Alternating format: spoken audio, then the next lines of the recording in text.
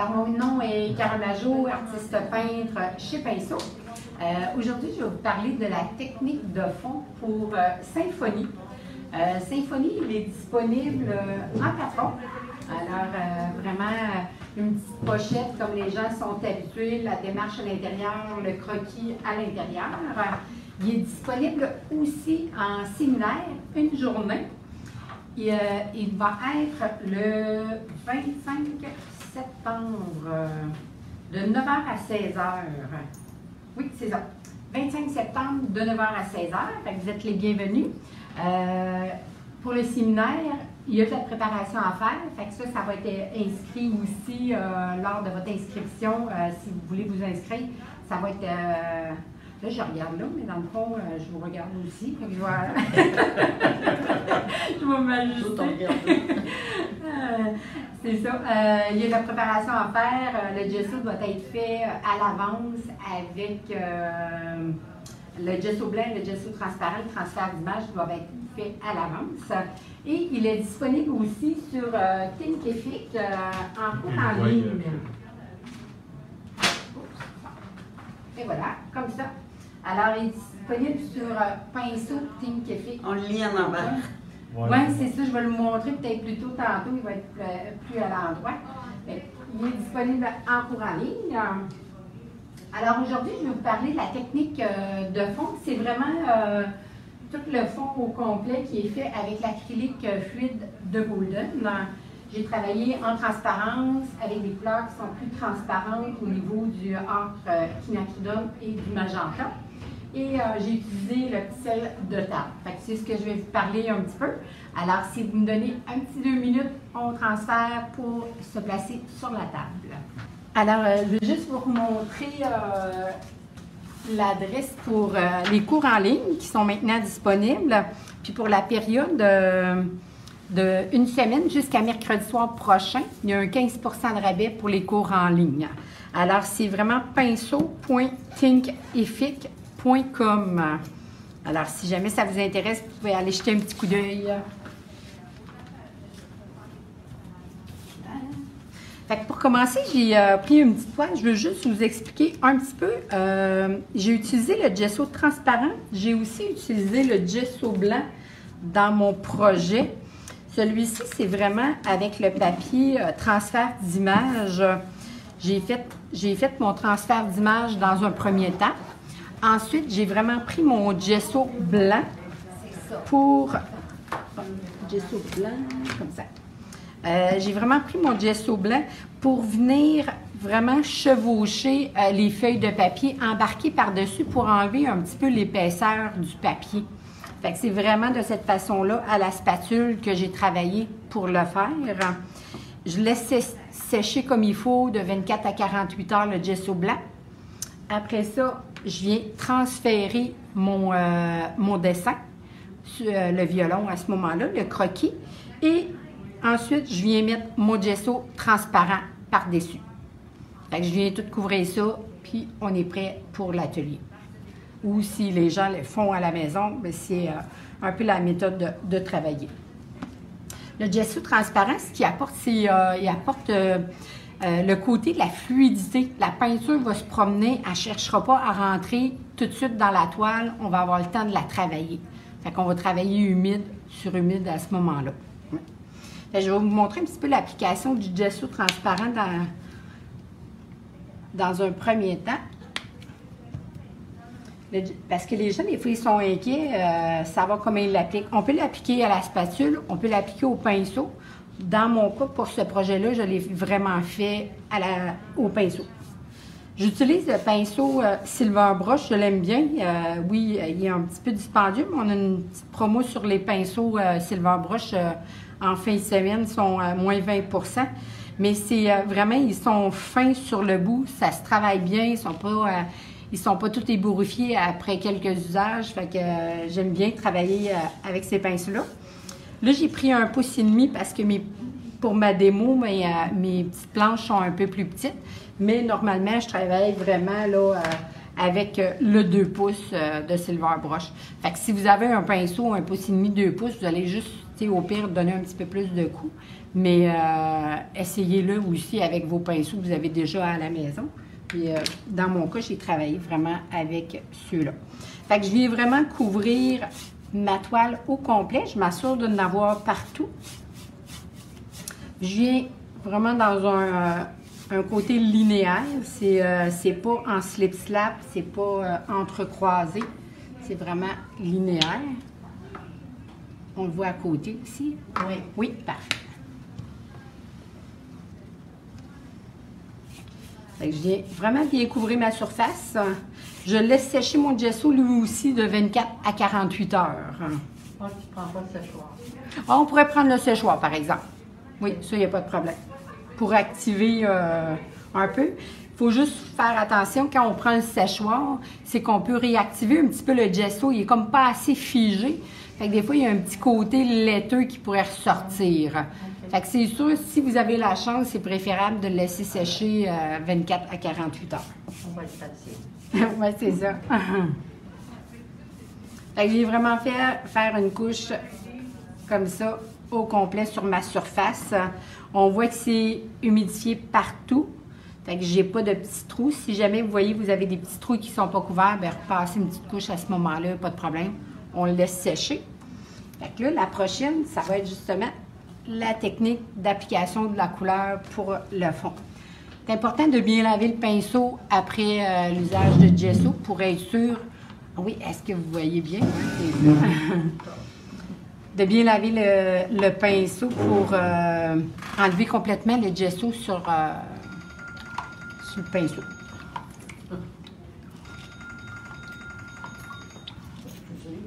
Pas de problème. Alors, je vais travailler, euh, c'est sûr, je vais travailler avec un eau qui est très clair, propre. euh, on la nettoie comme il faut pour euh, faire notre fond.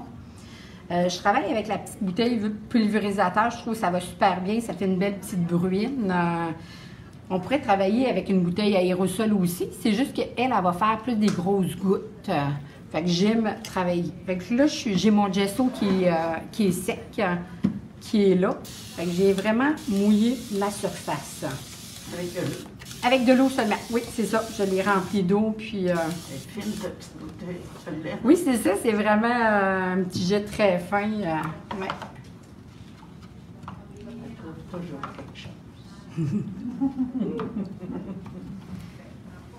J'utilise la couleur euh, nickel, euh, nickel Azo Gold, euh, Quinacridone de Golden. Je travaille avec les couleurs Golden. Je trouve qu'ils ont un beau pigment.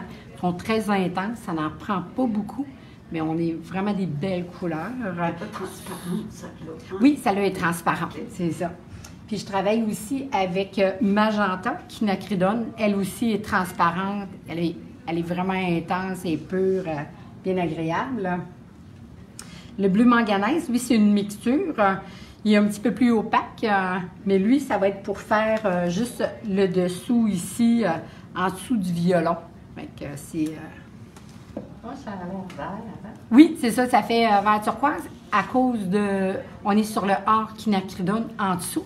Fait que quand on met du bleu, ça tourne au vert. Ouais. Alors, je dépose sur ma palette un petit peu de or quinacridone.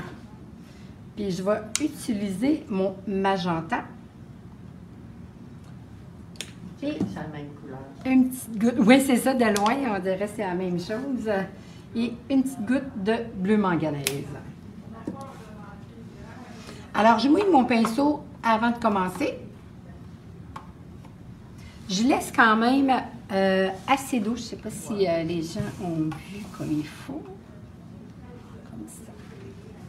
Ben, je viens mouiller mon pinceau. J'enlève un peu l'excédent.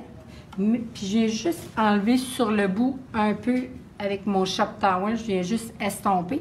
Que J'en ai quand même beaucoup déjà dans mon pinceau.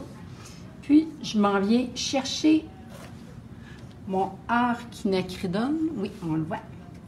Vous voyez, j'ai vraiment pas beaucoup euh, de peinture, mais c'est très, très intense. Là, je travaille plus en slip-slap à ce moment-là, quand je vais appliquer euh, mon orquinacridone. Fait que je viens vraiment déposer ma couleur. Si vous remarquez, ici, c'est beaucoup plus pâle euh, qu'ailleurs. Fait que je le laisse assez, euh, assez pâle. J'ai le temps de le travailler parce que je suis sur l'eau, puis j'ai aussi beaucoup d'eau dans mon pinceau. Fait que je viens remettre un petit peu d'eau parce que je veux pas quelque chose de trop euh, égal dans mon coin. Je vais bouger un peu aussi à l'occasion mon, euh, mon travail pour euh, jumeler mes couleurs, l'intensité. Fait que ici, j'aimerais ça peut-être juste teinter à peine. Ce que j'ai fait aussi dans mon coin, si je reviens avec mon Shop Towel, puis je vais enlever un petit peu d'excédent.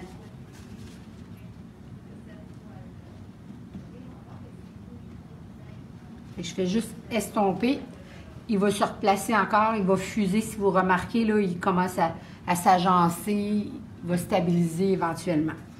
Je veux un petit peu plus foncé dans ce coin-ci. Je vais venir juste en rajouter, puis je le laisse travailler. Au besoin, je vais pointer dans ma peinture pour en ajouter selon ce que je recherche. Je peux aller me chercher un peu d'eau si je dis Ah, il me semble que c'est un petit peu foncé, je ne vais pas aussi foncer. Je vais me chercher de l'eau. Si vous voulez jumeler un petit peu plus, vous pouvez vaporiser aussi de l'eau. C'est vraiment, on a le temps de le travailler. Il n'y a, pas, euh, a pas de stress ou euh, qu'on joue avec. Le gesso transparent qui fait que c'est plus... Ça se diffuse. Oui, c'est ça. Le gesso avec l'eau naturellement aussi. Oui. Fait que là, j'arrive, vous allez voir, ah ben, dans le patron, c'est tout euh, écrit, euh, autant dans le cours en ligne aussi. Euh, je protège mon violon. Fait que, exemple, je vais juste me tracer. euh, si Est-ce qu'on pourrait tracer notre dessin avant d'appliquer Il faut qu'il soit tracé avant. OK, C'est avant le gesso transparent, notre dessin est là. OK. Fait que là, à ce moment-là, on voit où est-ce qu'on est rendu. Fait que c'est ça, j'aurais dû me dessiner. Euh... Je cherche un petit crayon. euh. Un crayon de plomb? Fait que je vais juste. Si j'aurais un, un trait, euh, exemple ici de mon, de mon violon, mais oui, un crayon bleu, c'est ça que je me disais. Petit sauver pas. Lui, il est- ben là, il va être bleu, ça va, ça va changer un peu la couleur, mais je vous donne une idée. Là, c'est euh, un crayon Intense euh, que je viens d'utiliser, fait qu'il va, changer un petit peu la couleur, mais c'est juste pour vous dire, exemple, si mon violon est ici, je vais mettre juste un petit peu, ça, je serais trop intense. Je lave souvent mon pinceau aussi, selon euh, l'intensité de couleur que je veux. Fait que je vais aller en enlever un peu. Au niveau de la lumière, je viens vraiment travailler de cette façon-là. Je protège mon violon pour pas avoir dans ce coin-là, dans ce coin-là, j'ai juste une petite teinte de arquinacridone. Gardez en tête que ça va aussi euh, pâlir un petit peu avec euh, en séchant. J'en ai un petit peu, je regarde. Là, vous voyez, ça commence à fuser parce que c'est le crayon Intense qui, euh, qui travaille. Mais ça vous donne une idée de protéger un peu votre violon. Parce que là, vous, votre croquis va être déjà fait. Fait que c'est euh, de le protéger. Puis, exemple, quand je suis rendue à côté de, de mon manche ici, je veux rendre ça plus intense. Je vais déjà venir accentuer mon arquinacridone autant dans le violon. Que ça, ce serait mon violon. Je vais venir accentuer déjà en travaillant mon fond. Je travaille aussi mon violon. Tout se fait euh, en même temps. Ça aurait été une bonne idée que je, trace, ça aurait peut-être été euh, mieux en même temps. Mais c'est ça. Si on travaille le violon en même temps que le fond, là, j'enlève ça juste pour vous montrer. euh, c'est du crayon Inkten, fait que naturellement, il est aquarellable, il se dissout, fait que, euh, il s'enlève facilement aussi. Fait que si vous remarquez ici, je suis un petit peu plus foncé au niveau ici aussi. Fait que je fais vraiment tout mon tableau de cette façon-là, entrecroisé. Ça à l'aquarelle. Oui, un peu, oui, c'est ça. Oui, en transparence. euh, je vais travailler avec mon magenta. Je commence à l'intégrer aussi la même chose. J'ai plus de magenta ici, dans le coin de ce côté-là et ce côté-ici. Je viens chercher ma couleur.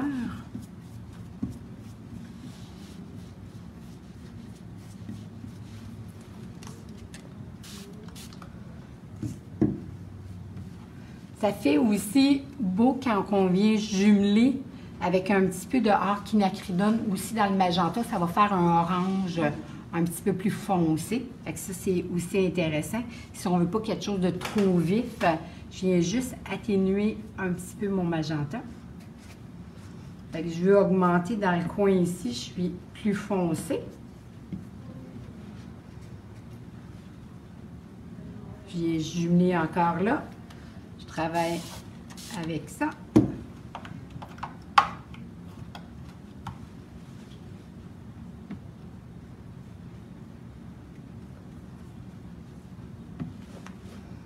Vous allez voir quand ça va euh, commencer à sécher, ça pâlit.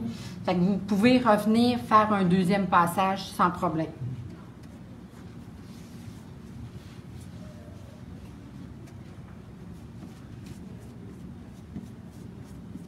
Fait que je vais toujours un petit peu en mouvement entrecroisé.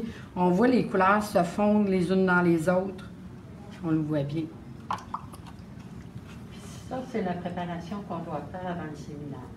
Oui, c'est ça. Mais c'est écrit euh, aussi euh, dans le patron. Au début, là, vraiment la préparation. Parce que dans le séminaire, c'est vraiment euh, le transfert d'image, le gesso blanc, puis le gesso transparent à faire. OK. Ouais.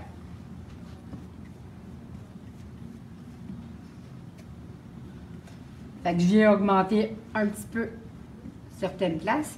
Si, exemple, ici, je dis, ah, il me semble que j'en ajouterais, je vais revenir tout de suite, je lave mon pinceau pour enlever, j'étais dans le magenta.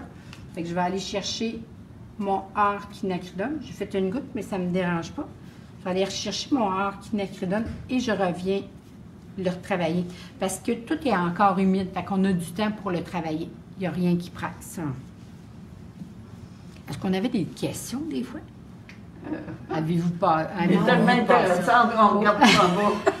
C'est bien, c'est correct, on va répondre, On on va répondre après, il n'y a pas de problème. voit du monde qui Hein? On va essayer de porter attention. Fait que je viens vraiment augmenter selon les endroits. Là, il faut être prudent quand on vient augmenter avec le bleu manganèse.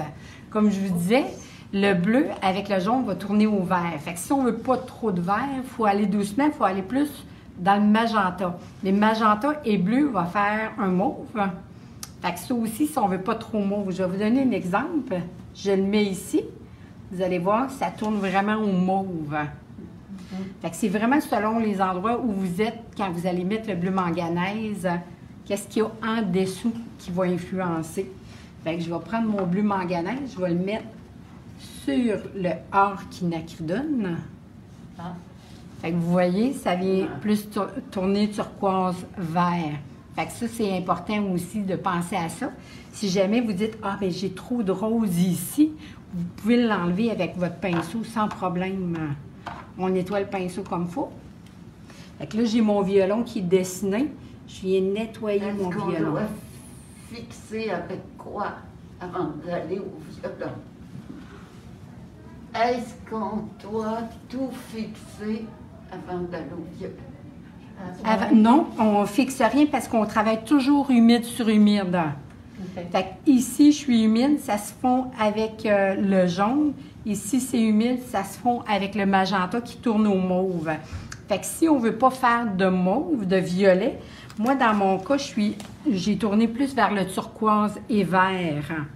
Fait que c'est de faire attention vraiment pour savoir la couleur qui est en dessous, qui influence ce que ça va donner avec notre manganèse. Oui. Fait que C'était une question. oui, c'est ça. Ah, vous avez une, belle- une bonne question. Il ne faut rien fixer parce que je suis encore humide sur humide pour le moment. Fait que c'est comme je disais, là, si je fais mon violon, je viens laver mon pinceau. Là, je vois que ça, ça a fusé dans mon violon. Bien, je viens laver mon pinceau. Moi, j'aurais, si j'aurais mis le croquis, vous auriez euh, vu un petit peu mieux. Désolée, j'ai euh, oublié cette petite partie-là. Fait que je viens nettoyer fait que vous voyez, je vais rechercher la lumière sur mon violon à ce moment-là.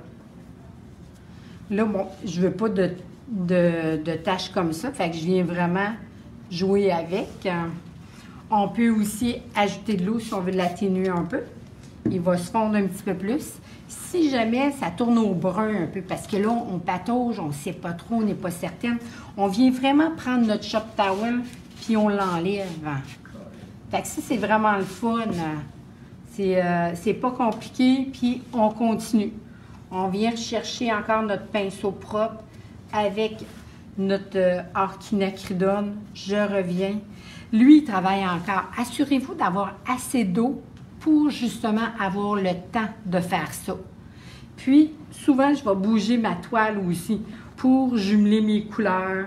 Euh, si je veux avoir des petites coulisses, euh, vous voyez ici, ça coulisse un peu. Ça, j'aime ça. Ça fait euh, des beaux reflets.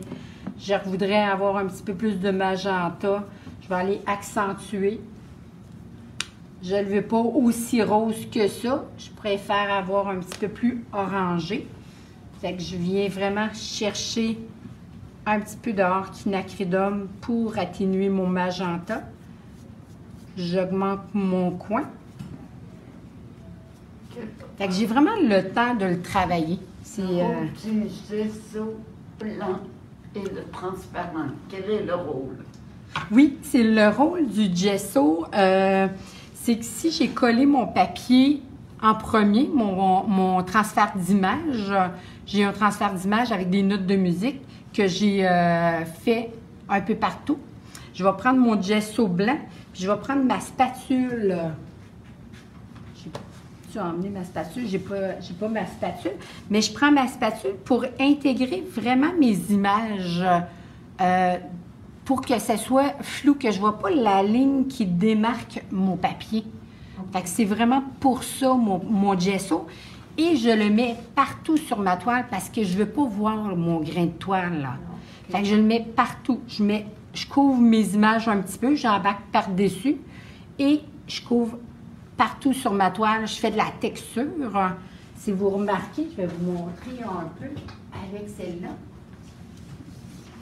On le voit bien. Je vais le tenir comme ça. Est-ce que vous voyez bien? Oui, oui. Vous voyez ici, le papier termine comme ça ici, là. Mais voyez-vous, vous voyez du blanc par-dessus. Fait que ça, c'est mon gesso qui a embarqué. Je veux vraiment intégrer. Fait que je prends ma spatule, puis j'intègre mon papier en même temps. Puis, si vous remarquez ici, vous voyez tous les coups de spatule. Moi, je cherchais à avoir une petite texture pour bien couvrir le grain de ma toile. Fait que ça, c'est mon gesso blanc qui fait ça. Faire une texture en premier. J'intègre mes papiers en même temps. Je tu l'as plissé? Ici, mon papier? Oui. Non, il est juste déchiré. Mais ah, euh, ça, c'est vraiment la texture du papier qui est comme ça. Mais si jamais il plisse à, à une place où je le déchire, comme celui-là, là, celles qui vont acheter en vidéo, ils vont le voir. Celui-là, j'ai oublié de coller de mon PowerPoint, d'en mettre sur les deux. Il faut le mettre sur le papier et sur la toile avant de faire notre transfert d'image. Puis lui, je l'ai oublié. Fait qu'on voit qu'il y a... Je sais pas si vous le voyez ici.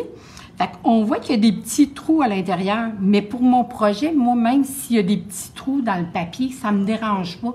Tu des fois, on est inquiète de faire un transfert d'image parce qu'on ne réussit pas bien, mais moi, ça me dérange pas parce que je veux juste qu'on sente les notes de musique, on sente que le papier est là, ça nous fait une belle texture, mais même s'il n'est pas super défini, j'avais pas de problème avec ça.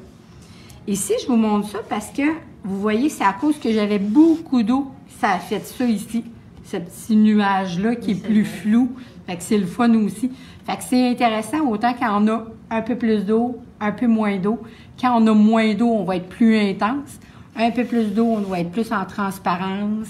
Fait que c'est... Que mis du gros sel. c'est du petit sel. Je m'en viens pour faire... Oh, euh, oui, j'ai l'eau transparent après. Ah oui, c'est ça. Après ça, après euh, avoir couvert comme il faut avec le gesso blanc, là, je viens transférer mon croquis. J'efface le carbone s'il a sali mon blanc. Ça, c'est bien important de l'effacer. Puis après ça, je vais mettre mon gesso transparent. pour euh, fixer le tout. Puis là, après le gesso transparent, là, c'est ce qu'on fait. Ouais. Fait que je viens vraiment, fait que vous voyez un petit peu la, façon de le travailler. Mon bleu manganèse, j'en ai mis un petit peu dans le coin ici. J'en ai mis un petit peu dans le coin ici, un petit peu en dessous du violon. Mais ça, des fois, encore là, quand c'est humide, exemple, si je fais mon tour de violon, puis je fais ça comme ça, quand c'est humide, il cherche à monter de temps en temps. Il veut se jumeler avec les autres couleurs. l'important, c'est de le nettoyer au fur et à mesure, quand vous le voyez, quand vous le travaillez, quand vous continuez à travailler votre, votre modèle. Puis si jamais vous le perdez, c'est pas grave. Une fois sec, vous allez pouvoir revenir un petit lavis, puis repasser par-dessus. Puis il va se fondre aussi avec votre fond. Vu que votre fond est jaune, ben jaune, orchinacridone, ben il va tourner au vert pareil. Fait que ça, il n'y a pas de problème, c'est facile. Fait que vous voyez, c'est encore très humide, il vient vraiment là, euh, se jumeler, se, travailler. Euh. Ici, on voit que j'étais plus dans le magenta, fait que ça tourne un petit peu plus brun. Fait que si vous voulez un petit peu plus euh, vert turquoise, ben c'est important d'avoir un petit peu plus de archinacridone en dessous. C'est vraiment la couleur qui est en dessous qui va influencer ce que ça va donner quand vous appliquez le bleu manganèse. Je vais augmenter un petit peu ici. Puis j'ai mis aussi un petit peu de magenta dans le coin. Mais je ne le veux pas trop mauve. Fait vous voyez, je suis, encore un petit peu trop euh, magenta directement. Fait que je serais portée à venir avec mon or quinacridone juste pour le rendre un petit peu plus orangé.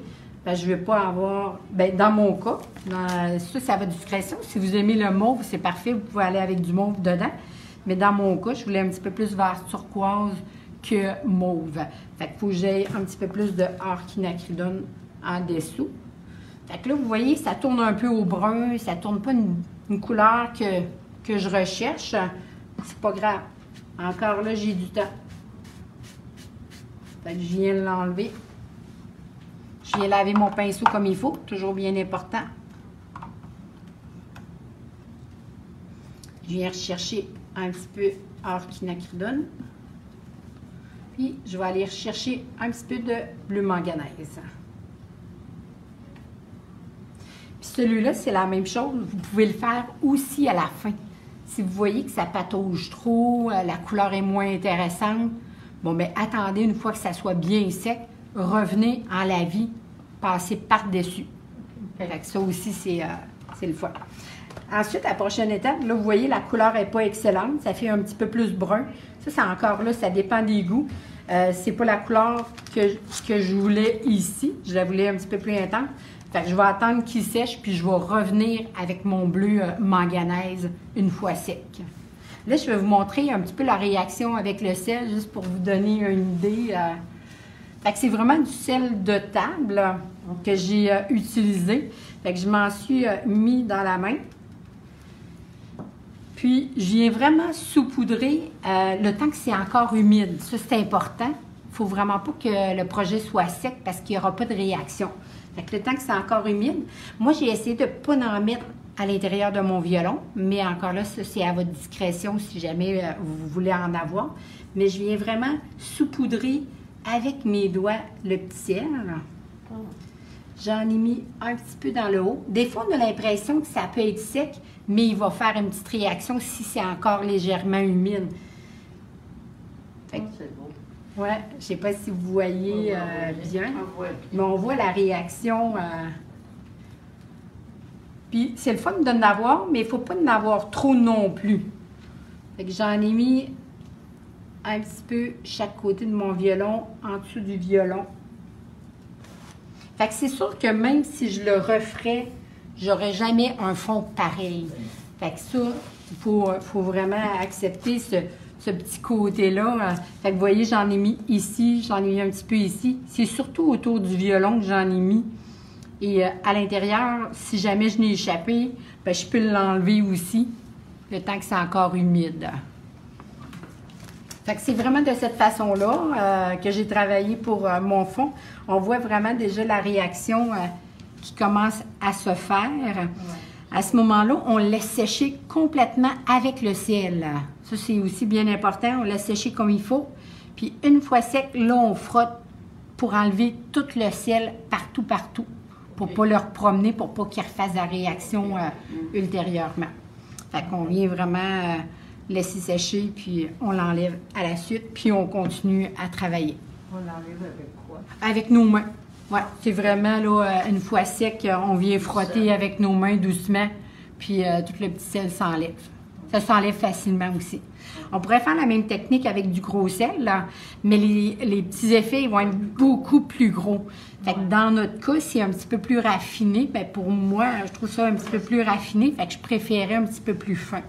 C'est pas la vedette. Oui, c'est ça, exactement. Je veux juste comme un petit côté festif, agréable. C'est la symphonie, c'est la musique. Fait que c'est de là j'ai ajouté un, petit peu le sel. Euh. J'ai tout fait les instruments de musique, puis ce que j'aime, c'est qu'ils sont jamais complets. Ah, oui, c'est ça. Oui, mais j'aime ça laisser un petit peu un sous-entendu. Euh... Oui, c'est ça. J'aime ça pour ça. C'est ça. Ah, j'ai hâte aussi. Oui. Alors, euh, je ne sais pas, euh, est-ce un transfert d'image? Oui, c'est un transfert d'image avec un papier euh, qui s'appelle Musique, un papier PowerText que j'ai fait vraiment les transferts d'image. Moi, j'ai utilisé le PowerPrint pour faire le transfert d'image, mais si vous avez Mediuma, euh, le gel, euh, soft gel de, de, Golden, vous pouvez utiliser ça. Je sais que le PowerText va super bien, on le repasse, c'est facile, euh, ça réussit super bien. C'est du bon compromis entre l'acrylique et l'aquarelle. Ah oui, c'est ça, exactement, ouais. Oui. Parce que des fois, c'est ça, les gens sont moins à l'aise avec l'aquarelle, mais euh, ça, ça, vient euh, tendre un peu vers euh, l'aquarelle. Oui. Une feuille en une feuille de musique? Oui, une feuille. Oui, j'ai pris la feuille au complet. J'ai vraiment déchiré la feuille, différents formats. Essayez dans vos formats de ne pas être égal. Tu sais, des plus petits, des plus gros, euh, des plus euh, un peu euh, plus allongés. L'autre peut être un petit peu plus rectangle, mais pas avoir toujours le même format parce que ça fait trop répétitif, c'est moins intéressant. OK. Oui. On dirait que c'est un collage que d'un transfert. Ah, OK. une préparation à faire si on va au séminaire. Oui. Oui, il y a une préparation à faire pour le séminaire. On doit avoir fait euh, le transfert d'image.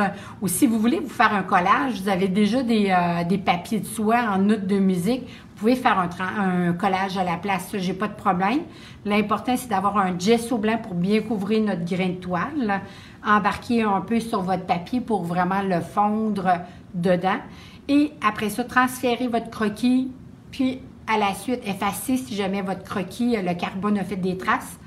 À la suite, euh, votre gesso transparent. Puis on est prêt. On va travailler ça ensemble. On est prêt pour le 25.